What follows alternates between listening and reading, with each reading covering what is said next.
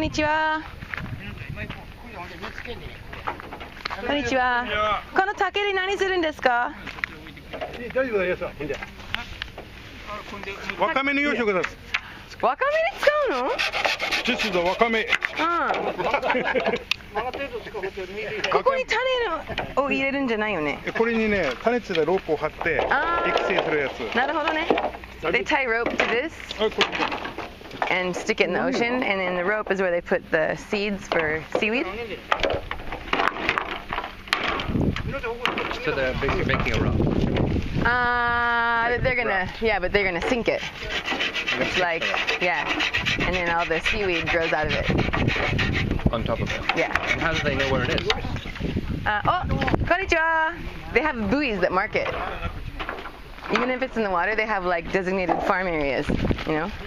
This is Sato-san. ありがとう Mm. Cameron です。はい 今日何仕事してたの？今うんあっちでミーティングやってたああ、そうごめんね集。まってたからあ団体がちょっと今来ててあー今ちょっと応対で出てなるほどね。いいね。いいねいいね。みんないたからちょっとああ、